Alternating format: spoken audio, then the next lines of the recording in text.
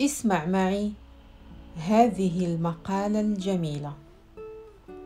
نفسك عالم عجيب يتبدل كل لحظة ويتغير ولا يستقر على حال. تحب المرء فتراه ملكا ثم تكرهه فتبصره شيطانا. وما كان ملكا ولا كان شيطانا وما تبدل ولكن تبدلت حالة نفسك. وتكون في مسره فترى الدنيا ضاحكة ثم تراها وأنت في كدر باكية.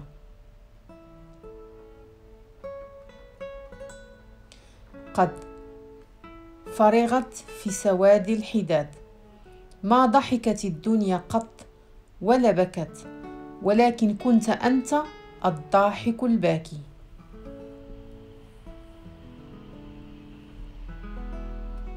مسكين جدا أنت حين تظن أن الكره يجعلك أقوى وأن الحقد يجعلك أذكى وأن القسوة والجفاء هي من تجعلك انسانا محترما.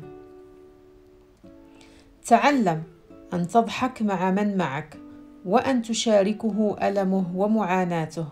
عش معه وتعايش به.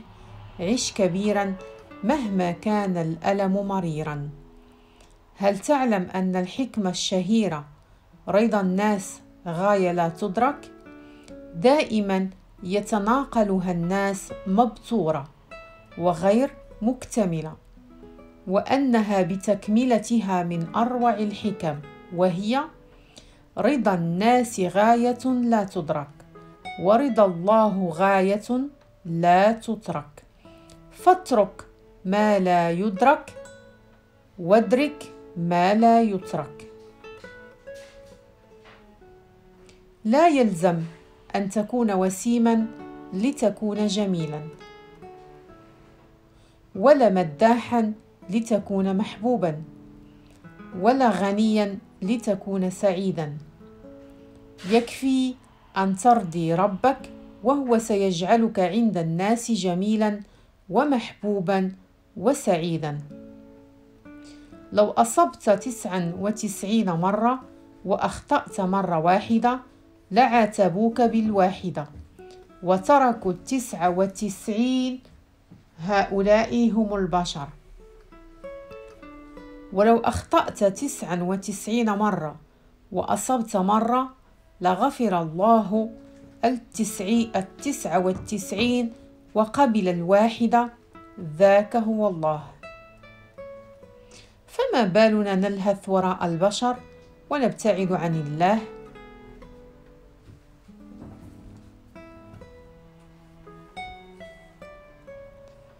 السمو بالنفس هو أن تتنازل أحيانا وتنسحب بهدوء. لأن بقاؤك سيخدش قيمتك مع من لا يقدرون القيم. حروفنا أصبحت تحتاج إلى محام. نحن ننطقها ببراءة وغيرنا يفهمها بخبث. يخطئون ثم يرددون. الدنيا تغيرت.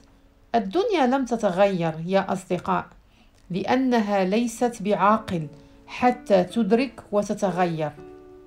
القلوب والأخلاق والنفوس والمبادئ هي التي تغيرت.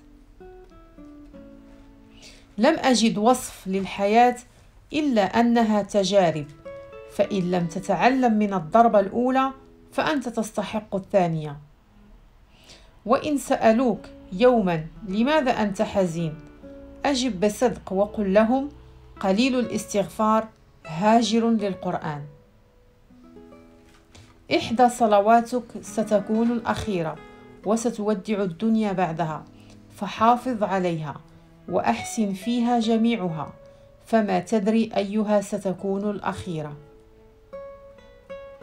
ما أجمل كبار السن يداهمهم النسيان في كل شيء ما عاد ذكر الله.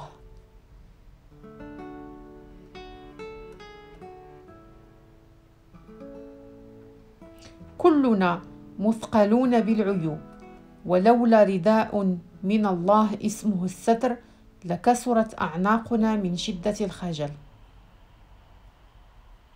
قل الحمد لله في عز الوجع وقت الفرح والحزن والغضب والصمت انطقها من قلبك ورددها دوما ولن تضعف مهما كانت الأحوال.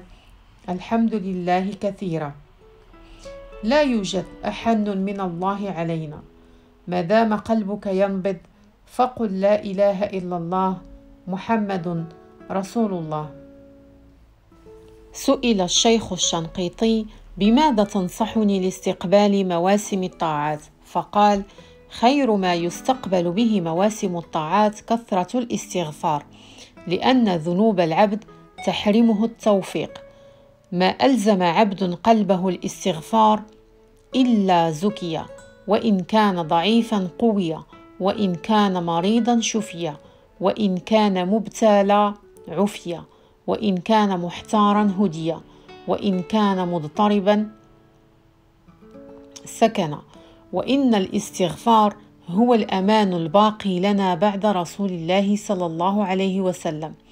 يقول ابن كثير رحمه الله ومن اتصف بهذه الصفة أي صفة الاستغفار يسر الله عليه رزقه وسهل عليه أمره وحفظ عليه شأنه وقوته. تأملوا قوة العبارة. عندما قالها عمر بن الخطاب لو نزلت صاعقة من السماء ما أصابت مستغفر. أستغفر الله الذي لا إله إلا هو الحي القيوم وأتوب إليه عدد خلقه ورضا نفسه وزنة عرشه ومداد كلماته. فهنيئا للمستغفرين. شكرا لكم على متابعتي وشكرا لكم على التعاليق الجميلة. جزاكم الله خيرا. ولا تنسوا الاستغفار فهو سهل جدا جدا. وفي كل الأوقات وعلى مدار الأربعة وعشرين ساعة ممكن أن نستغفر الله سبحانه وتعالى ونتوب إليه من قلبنا الخالص. والله المستعان.